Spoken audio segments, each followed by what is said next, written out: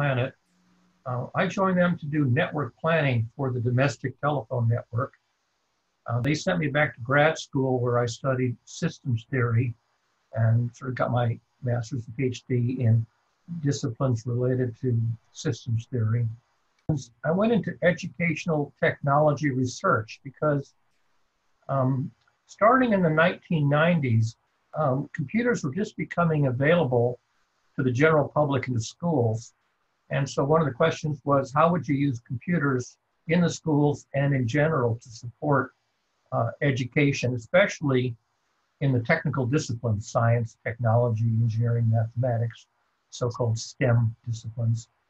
So I spent 10 years at uh, a company called BBN, stands for Bolt, Beranek, and Newman, the three founders, and uh, worked on uh, applications of um, computers and, and software uh, and online learning communities to support education.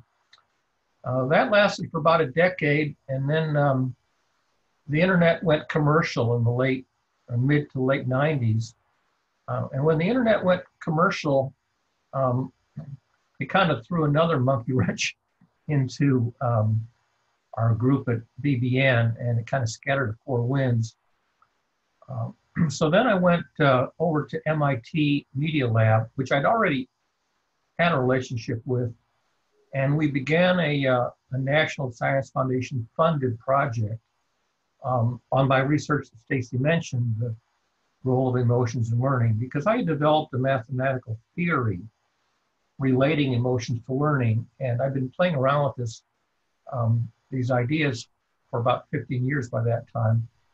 Um, and at the same time, I had started volunteering on weekends at the Boston Museum of Science.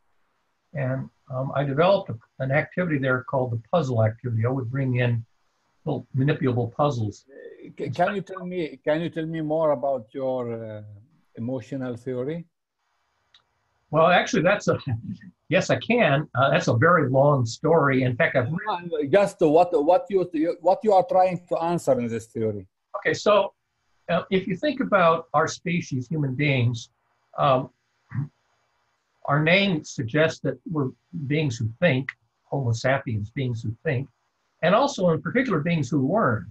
And we're not the only creatures on the planet who have the ability to learn, but that's one of our highlights, the ability to learn. And we're also beings who have affected emotional states. Again, we're not the only creatures that have emotions, but so two of the um, more interesting features of our species is one, the ability to learn, and two, the faculty of having emotions. And the question is, how are they related?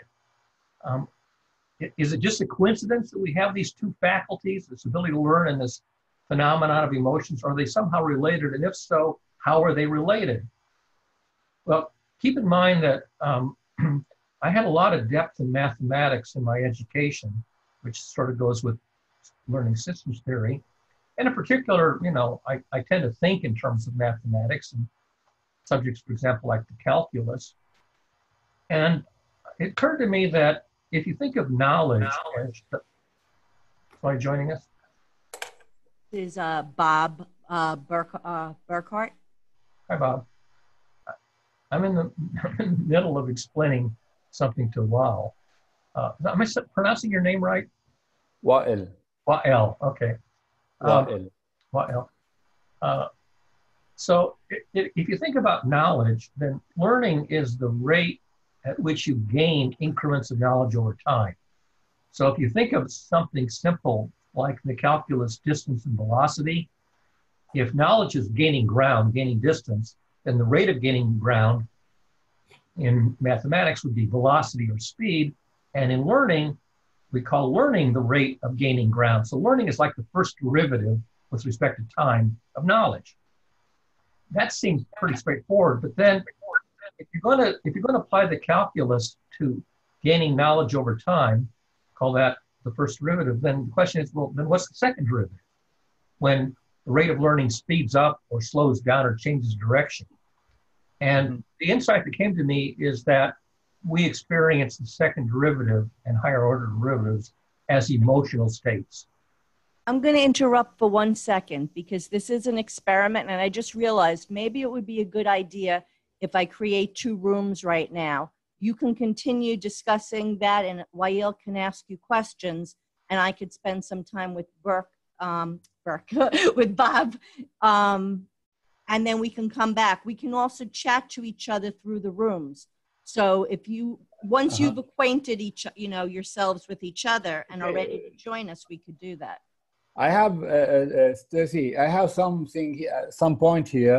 Maybe it's interesting for you and Bob, because we think that we look after learning and knowledge, and I think this is something uh, is not not very accurate for humans. That we we look uh, on us as a learning machines, and we develop science to look as this part of our capability. Uh, and uh, but what we need what uh, what the outcome of it uh, the outcome of it is is something we look at and we look at but we don't use it. And this is this is also come together with my research what actually what we should use uh, in in collaboration or what collaboration uh, needs. We don't need uh, individual knowledge. We need we need collective consciousness. And and and when if you remember the question of uh, Ma- Michael about his problem with the computers in Africa, how to get them, Yes. I didn't have any knowledge. I, I saw three words: computers uh, in Africa, uh, in, in UK, need to brought to Africa, and I, I just something eh, within two seconds. I have the answer. He should call the empathy. So what? Which knowledge I used here? I didn't look into any any any books or we have if we need knowledge, then we look into maybe we can look in it. We have google. We have a lot of people who know in many fields. But at that point because i was very focused on michael and then something gave me the answer. And and this is this focus i think is not knowledge it's your consciousness. It's is is pointing you to something. But you have to be at that point so I sprint for for, for Michael uh, Michael uh, niece, and I gave him an answer. Right, but Wael, the point is that that's you and you're one person. And we're living in a world trying to figure out why we can't collaborate. And part of the reason is most of us are operating as if everybody is thinking exactly as we are. And I don't think that's ever the case any more so than any of our fingerprints are the same.